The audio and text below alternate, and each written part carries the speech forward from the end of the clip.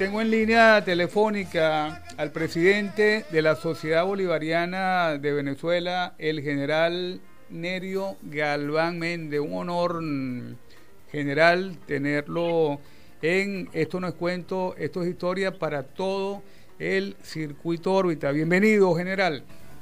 Bienvenido, gracias, gracias por igualmente para ti, gracias por la invitación.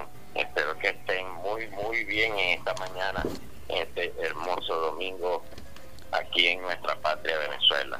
Bueno, fíjese, general, la sociedad bolivariana de Venezuela está siendo bien polémica en, en todo el país bajo su presidencia, bajo las actividades que, que usted viene, viene realizando. Cuéntenos, general, cuál es la situación de la, la sociedad bolivariana de Venezuela.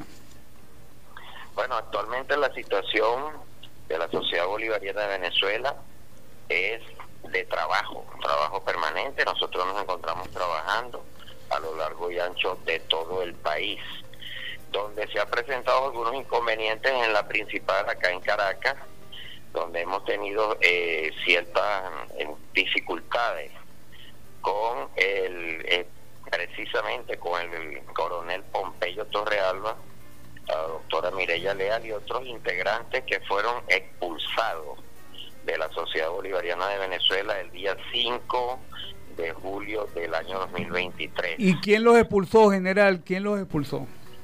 Bueno, fueron expulsados por, por, una, por la junta directiva, por los miembros integrantes, socios y consorcios, porque incurrieron en faltas, en incumplimiento de formalidades a los deberes como consorcio y también en tentativa de algunos delitos como sustracción de materiales, equipos y pérdidas que eh, se generaron de algunas eh, pertenencias de la Sociedad Bolivariana de Venezuela al nombrar a una persona como custodio que no estaba capacitada dentro de la Sociedad Bolivariana como es eh, un ciudadano que se dedicaba al aseo y esa persona pues logró sustraer algunas cosas y pertenencias a pesar de haber sido advertido y de llamado la atención haberse hecho el correspondiente eh, documento previendo este tipo de actividades no tomaron las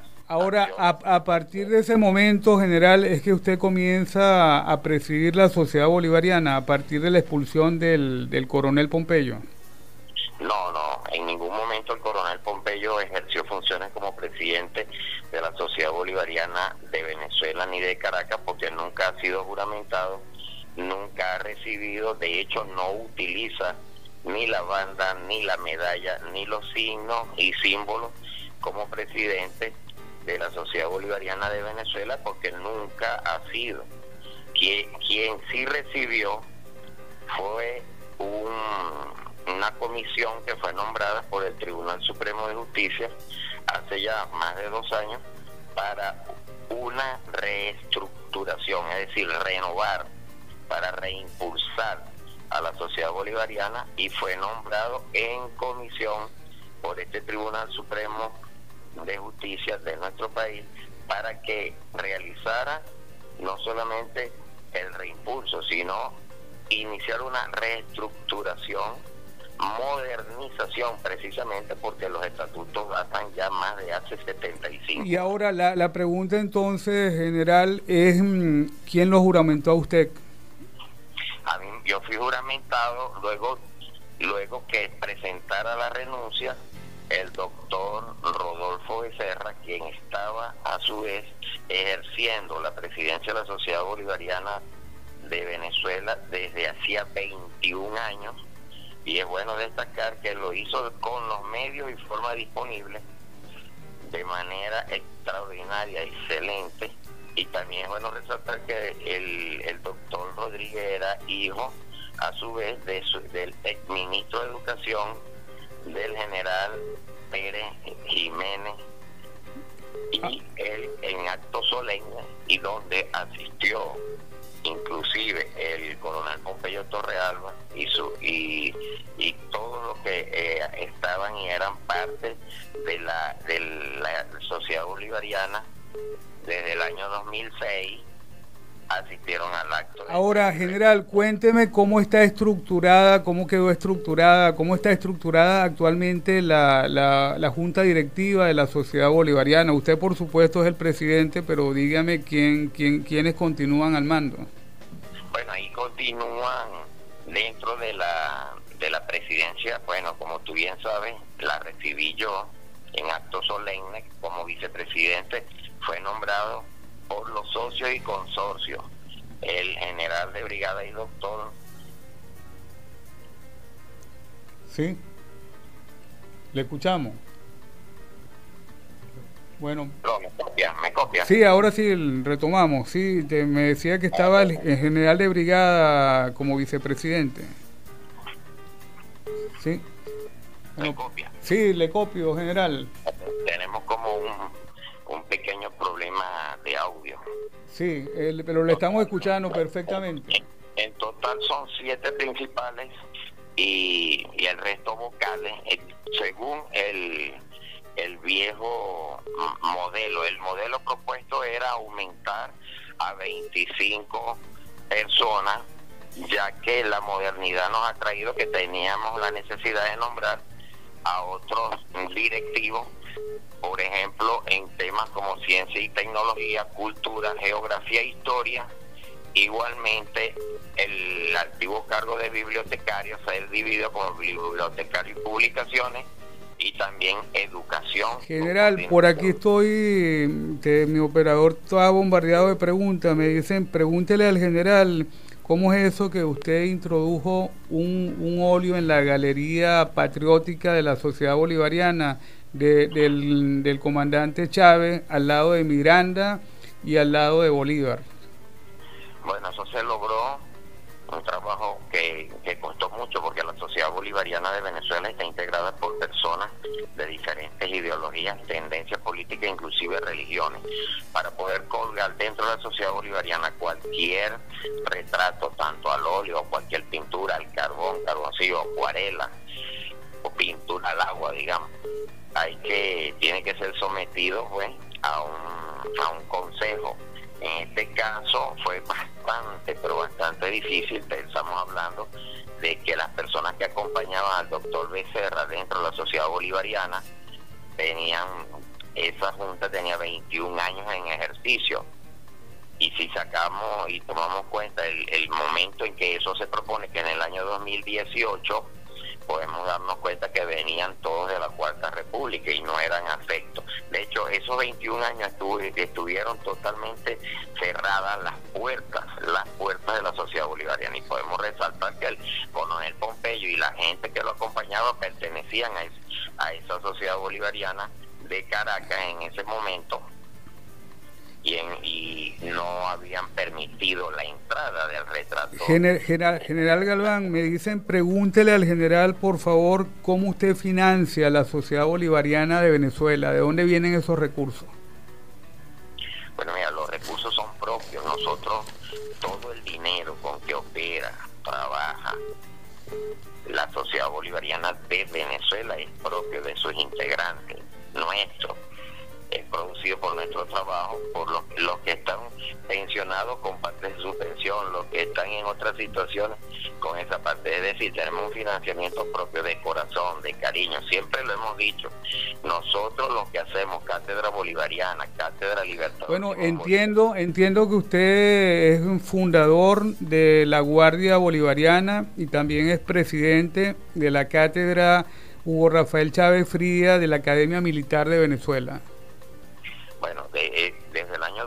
2014 tomamos la iniciativa de, hacer la cátedra Comandante Supremo Hugo Chávez, eh, a, quien pues también tuvimos la gran oportunidad de hacerle un libro de 407 páginas. ¿Cómo se llama el libro?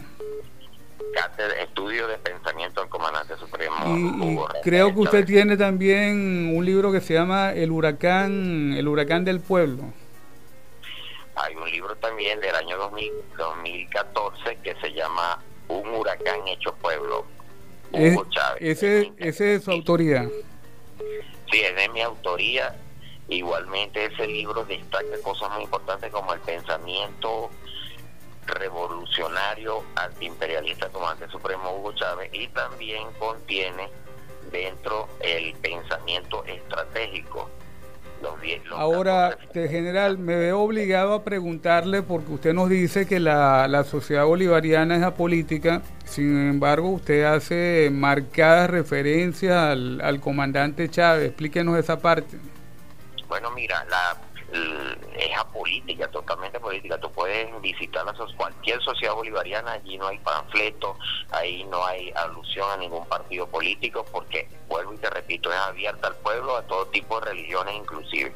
Con respecto al, comandante Hugo Chávez, porque fue un destacado bolivariano desde temprana edad, desde, desde que ingresó a la Academia Militar del, ejército bolivariano en aquel en aquella antigua casa de los sueños azules que hoy se llama Universidad Militar Bolivariana de Venezuela se destacó como un gran bolivariano promoviendo la vida obra del libertador Simón Bolívar y por supuesto que eso lo elevaba y la oportunidad que le dio la vida de hacer cátedra bolivariana, de hacer cátedra libertador Simón Bolívar, y sus acciones, sus mensajes, sus discursos, sus leyes, su gobierno dieron motivo suficiente para que el retrato al óleo de Hugo Rafael Chávez Fría ingresara. ¿Y usted está de acuerdo con ese con ese retrato del nuevo Bolívar que vemos en muchas dependencias, ese retrato computarizado donde tiene Bolívar rasgos de Sambo, general?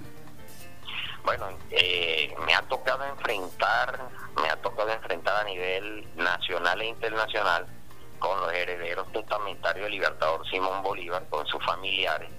Me ha tocado mm, discutir y hemos hablado mucho y lo hemos escuchado. Muchos de ellos me mencionan que no sale a, la luz pública, tampoco lo exponen, tampoco lo escriben, pero mm, sí me lo han hecho saber de que a ellos no les fue consultado en ningún momento ni fueron invitados a ver la propuesta del nuevo rostro del libertador Simón Bolívar. Ah, pero pero la, la, pregunta con usted, ¿usted cree en, en, ese, en esa nueva foto o en los retratos que se hicieron en otrora del, del libertador? Bueno, existe un retrato que el mismo libertador Simón Bolívar dijo, ese sí se parece a mí, que fue hecho en, en Lima, en Perú, y que... Eh, que aparece en, muchos libros y aparece inclusive en las redes sociales, que, que data de cuando él eh, hacía vida en el Libertador y que fue pintado y exhibido en Lima y que es muy fácil y muy de conseguir. Parte de ese rostro eh, se encuentra en un cuadro que, que se llama El Libertador Simón Bolívar, que se encuentra en el Salón Francisco de Miranda de la Escuela de Guardias Nacionales de Ramo Verde y que es muy lindo, al lado de un piano muy hermoso y aparece inclusive con el perro nevado tal cual como era su caballo y, y su y su ayudante que era un, el indio, el indio, el indio llamado Tinjaca. Tinjaca. Te, general, te, una, una pregunta, esa exhumación polémica que se hicieron de los restos del Libertador en el Panteón Nacional, donde fue una, una orden que dio el comandante Chávez. ¿Cuál es su opinión?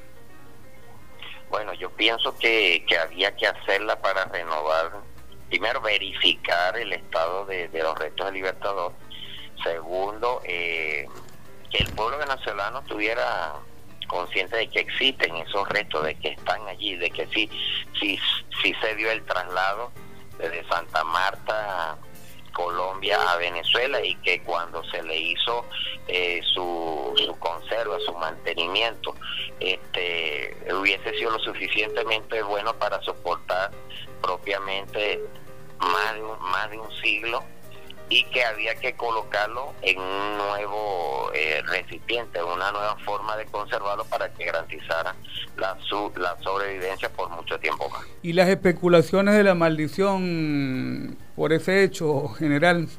Bueno, las personas son libres de imaginar muchas cosas, son libres de imaginar. Mira, lo mismo se decía de la de la de la tumba de Tutankamón, de que si abriste aquí, que si abriste allá, pero en el caso de de libertad Libertador Simón Bolívar, verdaderamente que si vamos al Panteón Nacional y observamos no solamente todas las grandes mejoras que se hicieron, el nivel como se, se elevó nuestro Panteón Nacional, bien merecido para el Libertador Simón Bolívar, también el sarcófago donde están y se guardan los restos es hermoso y es bello que actualmente está bajo custodia de patrimonio nacional y de la Guardia de Honor Presidencial. General Galván Méndez, coménteme de las situaciones de las distintas sociedades bolivarianas de, de, los estados, comenzando por Anzuate, por supuesto. Dígame cuál es la, la situación real.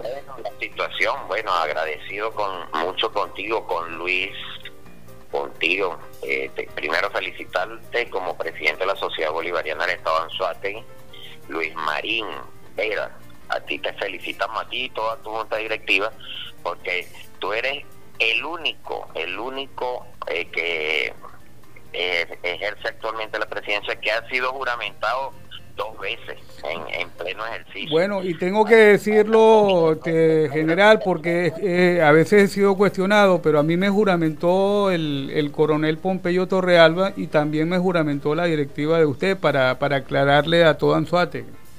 Sí, es bueno. Cuando tú fuiste juramentado por el, por el coronel Pompeyo en ese momento, él estaba como parte de la junta directiva de la Sociedad Bolivariana. Lamentablemente, después de los hechos ocurridos, que hubo la necesidad de ser expulsado de, de, esta sociedad bolivariana, lamentablemente, porque ya él había sido nombrado por mi jefe eh, de el, los nombres jefes de la Cátedra Moral y Luz en el año 2018. ¿Usted lo nombró al, coronel Pompeyo, usted mismo? Sí, yo mismo lo juramenté, siendo rector de la UNEFA, lo juramenté como jefe de, de la Cátedra Moral y Luz en el, en el año 2017-2018. Y luego, más adelante, en el año 2021, fue juramentado con una cátedra innovadora que se llamaba la cátedra El Esequibo es nuestro. Bueno, yo creo, yo, yo, yo, creo que él es bien ducho en la materia del Esequibo, eso es incuestionable. No, es incuestionable, de hecho, él, hasta el año 2021 no se hablaba eh, de, la manera tan intensiva como se, se comenzó a hablar. El día, eh, como te he puesto, el día 13 de enero del 2021 fue juramentado por mi persona en la Sociedad Bolivariana eh, de Caracas como eh, presidente de la cátedra El Esequibo es nuestro, dándole soporte. Ahora, otra, otras sociedades bolivarianas, la, la del Zulia, por ejemplo, la del Táchira, Carabobo, eh, general. Bueno, y te repito, recuerda que yo recibí una sociedad bolivariana de Venezuela que había sido cerrada, cerrada, casi que desaparecida, motivado a que cuando se habló con la Junta Directiva saliente, que hubo que tener mucha moral, mucha fuerza, mucha constancia, ganar propiamente el corazón con el trabajo de esa sociedad bolivariana. Allí habían eh, personas de ideologías muy diferentes a las que actualmente se encuentran dentro de la sociedad bolivariana. Eh, lograr pues captarlos con trabajo con, sacrificio para que lograran no solamente entender el momento, el proceso histórico que vivía Venezuela, sino aceptar que había que... General, por aquí me estoy recibiendo otros mensajes de cuándo usted viene con, va a constituirse la Sociedad Bolivariana de Venezuela aquí en Anzuate y cuándo nos visita. Bueno, ya, te, ya podemos ir haciendo planes aprovechando eh, la cercanía, ya pasó el carnaval, hemos hecho actividades para esos días de abril que son muy, muy buenos. Me, me gustaría estar por esa bella y hermosa región para los días del 18, 19, 20 de abril. Bueno, vamos a tratar de hacer un acto general en la, en la Casa Fuerte de Barcelona, visitar algunas plazas de Bolívar y pues bajo, bajo la batuta, bajo la dirección suya y espero nos acompañe la gente del Zulia, la presidenta de la Sociedad Bolivariana de de Caracas, para nosotros sería un gran honor. Bueno, hemos tenido mucho trabajo, tenemos mucho trabajo en el Zulia. Bien sabes que está el Castillo San Carlos, allá está la, barra del lago de Maracaibo, el propio lago de Maracaibo, todos los trabajos que se han ido adelantando en la Casa Urdaneta. Quiero también informarle a, nuestro país, allá esta zona tan importante del oriente del país, que la Sociedad Bolivariana Panamericana la cual me, digno, me digné fundar, la fundamos en, en la casa natal de, del prócer fundador de la Sociedad Bolivariana de Venezuela. Bueno, y nosotros aquí en Anzuategui somos los lo segundos, general, fundada en 1843, la segunda Sociedad Bolivariana.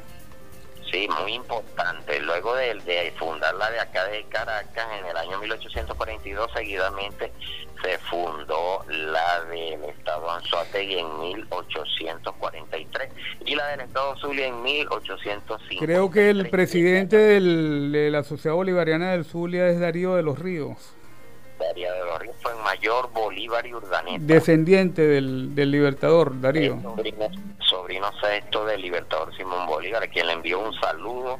Él desciende de eh, Agustín Bolívar el, hermano mayor del libertador Simón Bolívar. Por cierto, general, le informo que la Sociedad Bolivariana del Estado Anzuategui tiene un, un reconocimiento de Luis Fernando Bolívar, que no, no, nos mandó toda la información, un reconocimiento digital y pues viene, viene, viene en camino el, el original.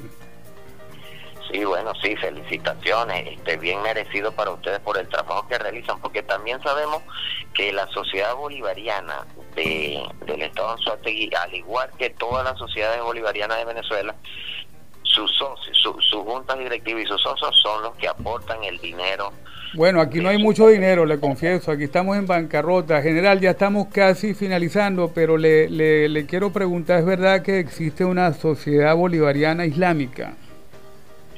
Bueno, la Sociedad Bolivariana de Venezuela tuvo la gran eh, oportunidad de aceptar, aceptar a por primera vez en la historia a integrantes de esta eh, religión mm, islámica musulmanes y que fueron juramentados en el teatro fueron juramentados y de otros y de otras religiones. A propósito que nuestra constitución nos da la oportunidad de ser un país donde se ejerce la libertad de culto. Y es verdad, general, que usted ha sido creador de un, de un teatro patriótico, inclusive se dice que, que usted tuvo una acción contra la ultraderecha que invadía la, la sociedad bolivariana. Por supuesto, allí, fíjate, allí la, la ultraderecha no permitía este, dentro de la sociedad bolivariana, bien lo hemos aclarado ahorita, miembros de de la religión judía, eh, de la religión judía, no aceptaban tampoco islámicos, musulmanes, no aceptaban yo. Ahora, ¿quién es para usted, general, quién es para usted la ultraderecha a que usted se refiere? Bueno, la ultraderecha es toda aquella que va en contra del pensamiento libertador Simón Bolívar, su memoria, su legado. Pero usted puede identificar entonces al libertador como un personaje de izquierda.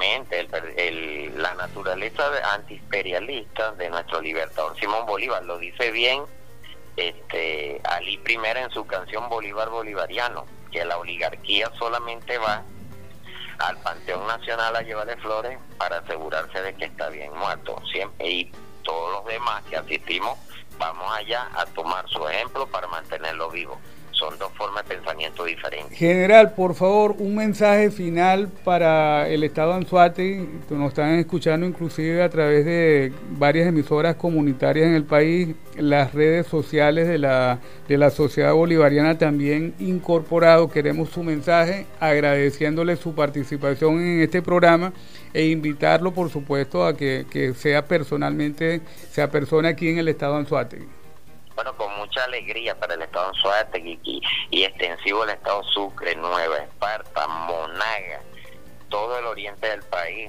del Tamacuro, un mensaje, bueno, patriótico, bolivariano, de mucho corazón, de mucho empuje, en nombre de toda nuestra junta directiva, del general González Cárdenas Roberto, del doctor Luis Pernalete, del licenciado Ojeda, de la de Gregory Montaño, de todos y cada uno de los que hacemos vida dentro de la sociedad bolivariana, de la doctora Lilian eh, Carrillo, de la doctora Zuleima Castillo Morales, que a quien le envío un saludo totalmente, que conformamos la Junta Directiva de Caracas, todos los vocales eh, Luis Alcalá Ojeda, que es nieto de Fabricio Ojeda y que es nuestro jefe investigador de historia, que hace poco tiempo realizó un libro maravilloso de donde se destaca el carácter bolivariano de Fabricio Ojeda. En nombre de todos nosotros y el tuyo, que también eres parte porque eres vocal por el Estado Anzuategui, pero que eres su presidente legal, juramentado y constituido, Luis Marín Vera, felicitarlo por ese espíritu bolivariano que existe en esa tierra desde 1843, llevando esa responsabilidad tú como descendiente también de uno de los grandes patriotas y héroes que acompañaron al libertador Simón Bolívar y al propio Rafael Urdaneta. Felicitaciones. Y bueno, tú que eres también descendiente, sobrino sexto de un libertador, felicitaciones para ti también. Bueno, muchísimas gracias al general de división Nerio Galván Méndez, presidente de la Sociedad Bolivariana de Venezuela.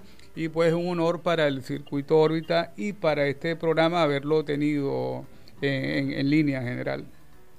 Bueno, también me faltó nombrar personas muy importantes como la presidenta de Caracas, Joana Curiel Díaz, y Garrillo en, en Carabobo, este Darío Tercero eh, en, en, el Zulia y las propuestas que se han hecho tú en Anzuategui este y, todos aquellos que estamos luchando como el coronel Nixon Chacón el capitán de fragata ni eh, Nichols allá en, en el Táchira.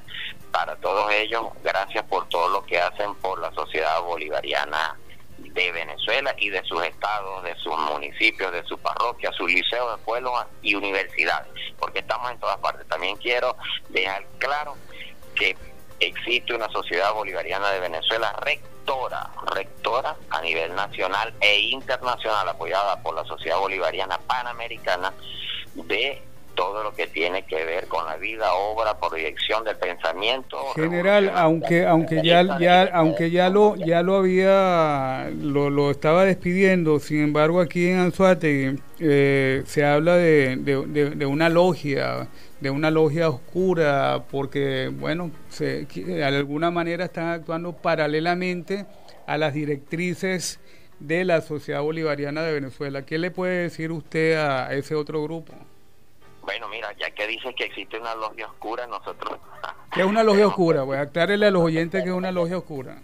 Nosotros tenemos que decir que, bueno, acá acá eh, hacen pues vida dos logias, dos logias, el Gran Arco de, América y el Gran Arco de Caracas. Una es la logia roja y la otra es la, la, la logia que todos conocen a nivel mundial internacional y que lo vienen haciendo desde 1842, ya que el general Rafael Urdaneta era, eh, era un venerable. Ahora, pero general, concretamente, ¿están al margen con, con estas actuaciones o están dentro de los estatutos?